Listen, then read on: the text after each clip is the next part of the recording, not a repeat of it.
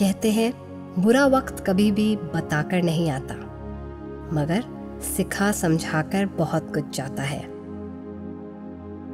कोई भी परिस्थिति हमारे जीवन में आती तो है, मगर हम उसको किस तरह से लेते हैं और अपने जीवन को किस तरह से बेहतर बनाते हैं उसके आने के बाद, ये सिर्फ़ और सिर्फ़ हम पर निर्भर करता है। अगर हमने मन में सोच लिया कि हम इस परिस्थिति से जीवन में बेहतर ही होंगे तो हमें कोई नहीं रोक सकता। लेकिन अगर हमने किसी एक परिस्थिति के बाद खुद को ही निराश कर लिया, ये सोच लिया कि इसके बाद अब हमें यहाँ से कोई नहीं निकाल सकता तो हम अपनी किस्मत खुद बंद कर रहे हैं। तो आज हम ये निश्चय करते हैं कि हम, हमारी ज़िंदगी में आने वाली हर परिस्थिति को सिर्फ़ एक सकारात्मक रूप से देखेंगे। और इस तरह से देखेंगे कि वो हमारे अगले दिन को और बेहतर बनाए। तो चलिए, ध्यान में जाते हैं और इसे अपने अंदर हमेशा के लिए बसाते हैं। एक आरामदायक स्थिति में बैठ जाए। कमर सीधी रखें। हाथों को गोद में रख लें। अब आँखें बंद कर लें। एक लंबी गहरी सांस भरें। इसे रोकें और अब सांस मुँह से छोड़ते हुए सारी नकारात्मक ऊर्जा बाहर जाने दीजिए। एक और लंबी गहरी सांस भरिए। और इसे रोके रखिए।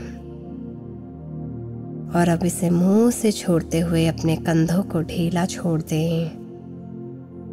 अपने कमर को ढीला कर दें। अपने पैरों और हाथों को ढीला कर दें। एक और लंबी गहरी सांस भरिए और इसे रोकिए। और अब मुँह से सांस छोड़ते हुए अपने दिल को, अपने पेट को, अपनी मांसपेशियों को, जबड़े को, अपनी आँखों को, कानों को, सब हिस्सों को ढीला छोड़ते जाइए। इनमें स्थित किसी भी तरह की रुकावट या तनाव हो तो उसे पिघलने दीजिए और देखिए कि आपके साथ आज एक दिव्य शक्ति है। जो आपकी हर तरह से सहायता कर रही है कि किसी भी तरह के बुरे विचार, बुरे वाक्य आपके अंदर ना रहें। और अब आप धीरे धीरे उन्हें अपने अतीत में ही पीछे छोड़ जाएँ और एक सुनहरे भविष्य की तरफ़ बढ़ने लगें।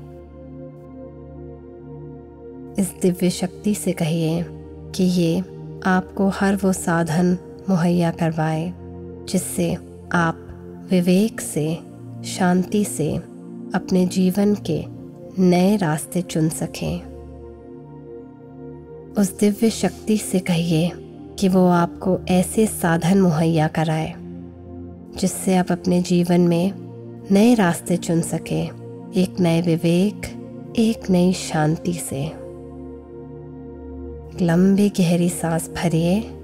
चेहरे पर मुस्कान आने दीजिए और देखिए कि सफ़ेद प्रकाश आपके शरीर के चारों ओर आ गया है।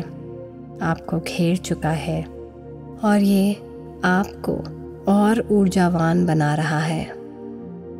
आपकी ऊर्जा धीरे धीरे और बढ़े जा रही है और अब आप एक शुक्रगुजार स्थिति में पहुँच रहे हैं। जो हो चुका है, उसे हम बदल नहीं सकते। मगर हम उसके बारे में क्या सोचते हैं, वो हम ज़रूर बदल सकते हैं। तो अब, हर उस बुरी स्थिति को, हम नए नज़रिए से देखेंगे।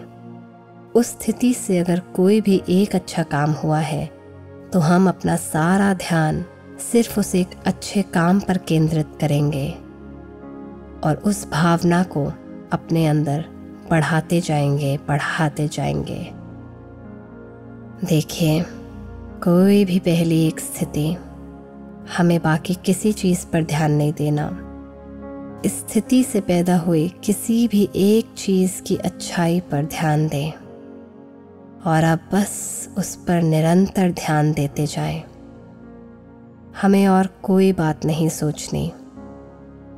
देखिए, क्या पता इसकी वजह से आप कहीं ना कहीं किसी नए इंसान से मिले हैं या किसी एक नई कला से जुड़े हैं, उस पर ध्यान दें।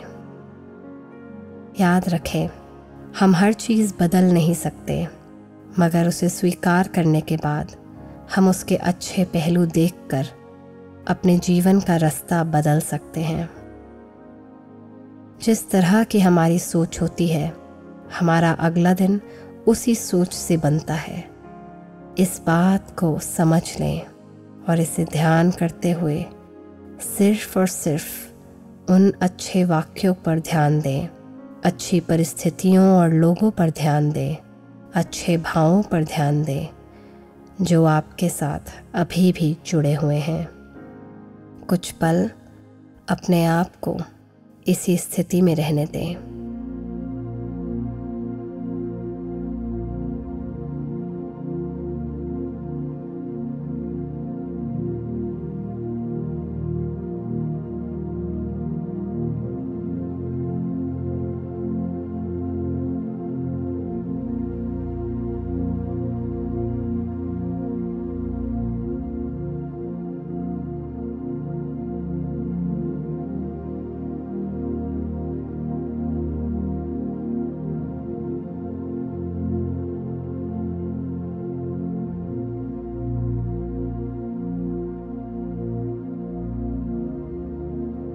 ये मुश्किल ज़रूर हो सकता है, मगर इसे करने से हम अपने जीवन का पूरा रास्ता बदल सकते हैं।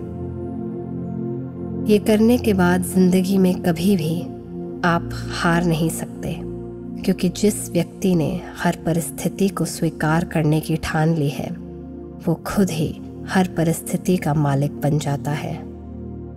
याद रखें, आपके पास चुनने की शक्ति है। तो आज से अपने हर विचार को चुनना शुरू कीजिए। इस भाव को अपने अंदर बहने दीजिए और बढ़ने दीजिए। और सकारात्मक ऊर्जा अपने अंदर उत्पन्न होने दीजिए। देखिए किस तरह से आप अपने मस्तिष्क को अपने काबू में कर रहे हैं। और किसी भी परिस्थिति को अब आप अपनी एक नई दृष्टि से देख रहे हैं। इस भाव को अपने अंदर पूरी तरह से समाने दीजिए। एक नया जोश, एक नई खुशी अपने अंदर बहने दीजिए। नई दृढ़ता के साथ अब हम धीरे धीरे वापस आएँगे। हर पल हम अपने ऊपर काबू रखेंगे। एक लंबी गहरी सांस भरिए चेहरे पर एक मन सी मुस्कान लाइए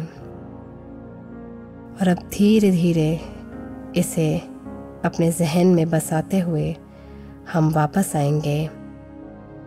दोनों हथेलियों को आपस में रगड़िए और इसे अपनी आँखों पर रख दीजिए। अब धीरे से आँखें खोलिए। स्वागत है आपका। स्वागत है आपका।